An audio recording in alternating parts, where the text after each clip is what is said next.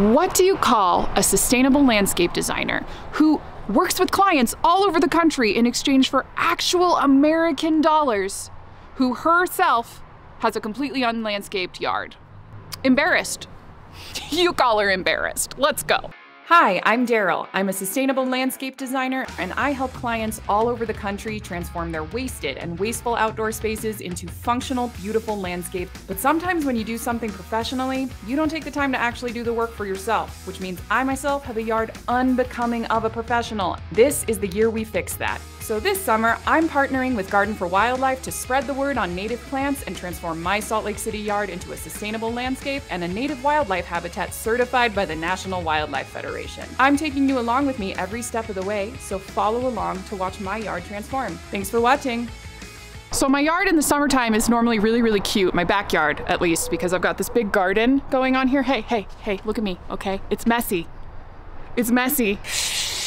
It's okay all right? It's all gonna be okay, we're working on it, but it's really kind of scary. I'm embarrassed to be showing the public this because yards are literally my job, but you know what? We're here, we're gonna be vulnerable together, we're going on this experience together, all right?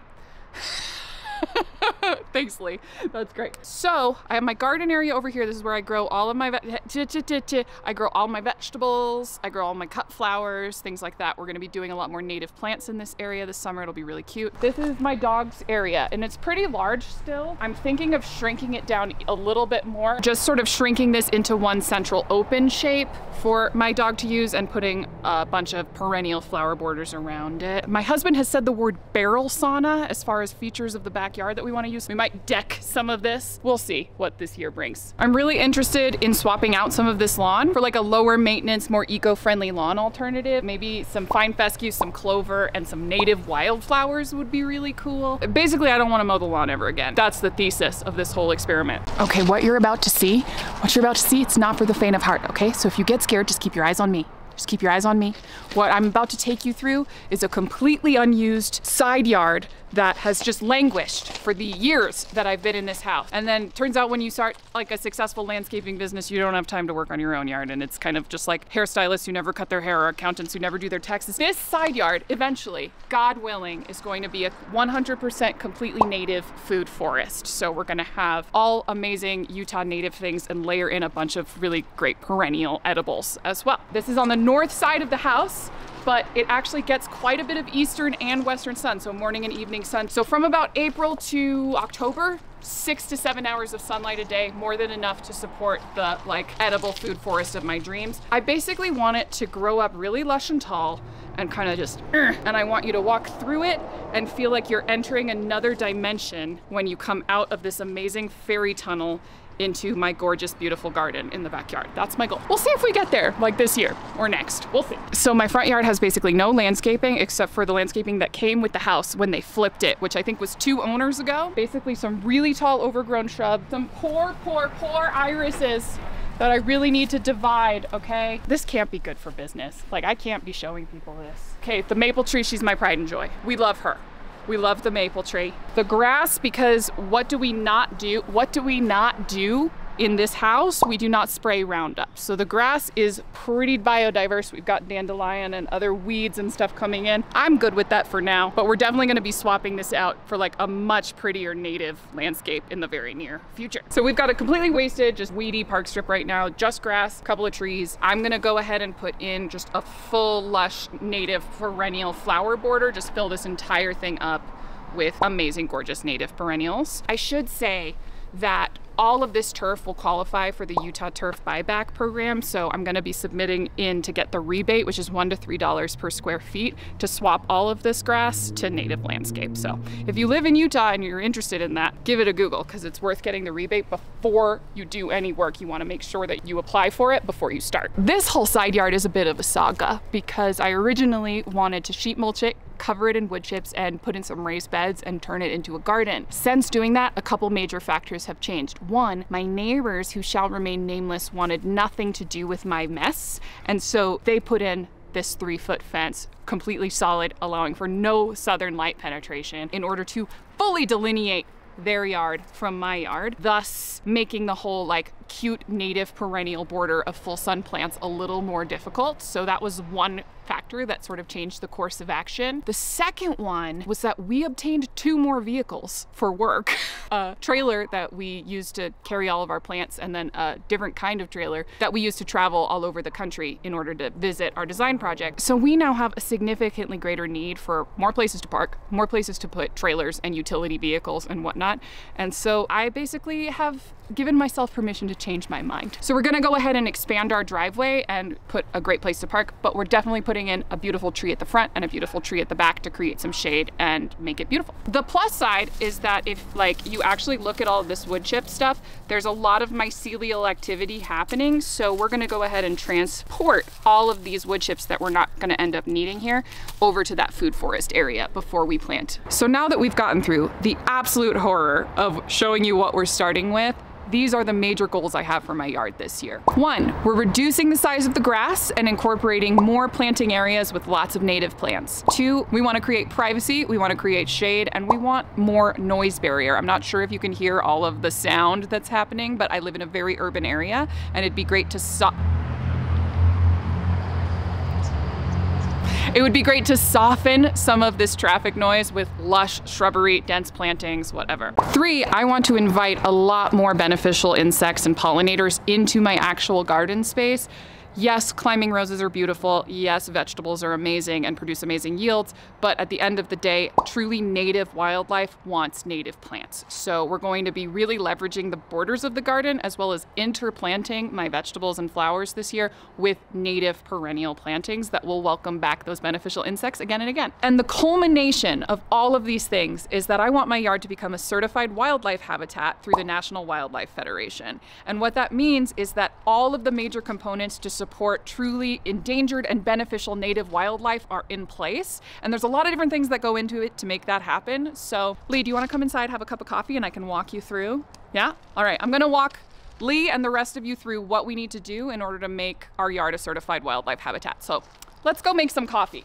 So in order to become a certified wildlife habitat, there are five major categories you need to make sure are featured in your yard. Food sources, water sources, cover, places to raise young, and sustainable gardening practices. Number one, food sources for wildlife. This can be berries, seeds, nuts, nectar from native plants. It can even be foliage and twigs. It can be a hummingbird feeder, a regular bird feeder.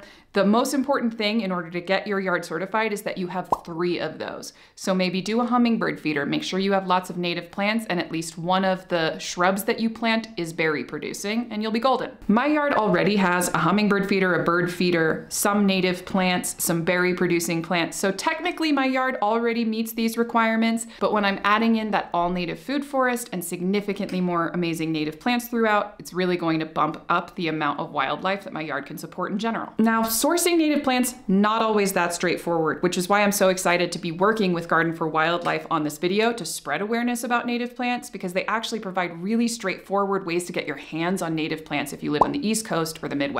It's an e-commerce option where you can actually order native plants and collections of native plants right to your door. What's cool about this is you can enter your zip code and get things that are native truly to you, not just your general state or area. And you can also filter by light conditions and soil conditions and soil moisture to make sure that the stuff you're planting actually wants to grow where you live. And what's even cooler than that is they have these collections of plants. So like the monarch collection that supports butterflies and the firefly collection that supports fireflies and a rain garden collection if you have really wet soil, things like that. So it makes shopping really easy and kind of helps you get over that decision paralysis that comes down to choosing like, what should I put in my yard to make it look good? they've already done that for you. It's already picked out and it's gonna look fabulous. Midwest, East Coast, if you live over there and you're looking for native options, give it a click, give it a look. Really, really cool stuff. Number two, your yard needs a water source. This can be a naturally occurring water source like a lake or a stream. If you have one of those in your yard already, I mean, good for you. But if you don't, something like a bird bath or a water feature or even a pond that you put in yourself, something like that, that'll be perfect. Now my yard actually technically meets this requirement already because I already already have a bird bath in my yard. And I've actually adapted the bird bath to be a pollinator bath by putting in little pebbles that can be landing pads for bees and, and other things that need to drink and, you know, don't want to drown. This does not need to be overly complicated. You can even DIY a bird bath of some kind. Keep it simple, but make sure that pollinators and birds and wildlife in general have access to water, especially in the heat of the summer. Number three, cover because wildlife just like us they need a place to retreat to to like get their bearings have a little nap emerge back out into society rested and rejuvenated so we need to provide spaces for them to like hunker down and hide these can be naturally occurring things they can also be things that you fashion together for naturally occurring cover wooded areas dense shrubs thick ground cover meadows and prairies you get the idea if you live in an urban environment like me you can actually fashion together places for wildlife to take cover. This could be a rock wall, a log pile, a roosting box, a bat box. There are plenty of options that you can either purchase or DIY. In order for your yard to be a certified wildlife habitat, your yard needs to have at least two of those options for cover. Opportunities for cover that I'm gonna be adding into my yard include a bat box, which also has a ton of additional benefits for integrated pest management and whatnot, as well as more dense shrubs, trees, foliage in general, lots of grasses, lots of places for pollinators and whatnot to hunker down and hibernate. Number four, your certified wildlife habitat needs places to raise young. This can be mature trees, dense shrubs, nesting boxes that you put in specifically. It can also be a pond for our amphibian friends. Also on the list of things that count as a place to raise young, uh, they do say cave. So if you happen to have a cave in your backyard, you're set you're golden. And another option that the NWF provides are host plants for caterpillars. So if you want to plant a native milkweed variety, which is the only host plant for the monarch butterfly caterpillar, you've already checked one of these off the list and you're also doing a great service to this endangered butterfly. You need two of these in order to be certified as a wildlife habitat. So if you already have some mature trees on your property, maybe plant some milkweed or build a nesting box. I don't know, go outside and dig a pond one day. Do whatever your heart tells you to do. So my yard already has three mature trees, and I know already for a fact that a sycamore in the back corner is home to a multi-generational family of doves who I am very close with and well connected with. But in general, I also want to plant a lot more milkweed plants to support monarch butterflies in my area. And I'd like to put in a small pond as well in my wild wildest dreams. And lastly, sustainable practices. You need to implement practices in at least two out of the three categories that the NWF lists on their website in order to make sure that you're maintaining your habitat in a sustainable and eco-friendly way. So category number one is soil and water conservation. And you can implement practices in this category by building a rain garden, xeriscaping, converting to drip irrigation, using mulch, stabilizing your hillsides by planting a ground cover that prevents erosion, generally just promoting the health and stability of your soil and conserving water along the way. In my yard specifically, we're reducing water use by converting to drip irrigation and also using drought tolerant native plants that need less water. We're mulching heavily around those plants. And we're also collecting rainwater off of the roof and directing it right into the landscape. Number two, controlling exotic species. You can do any number of things, including using integrated pest management, introducing more native plants, removing invasive plants. And number three, implementing organic practices, which you can do just by eliminating chemical pesticides, chemical fertilizers, maybe even composting. In my yard, we already do all three of those things because we don't like spraying chemicals on our yard and we love composting as a way to reduce waste and create closed loop systems on our property. So I guess what I'm saying is, yeah, it doesn't look that great out there yet, but like it's still working.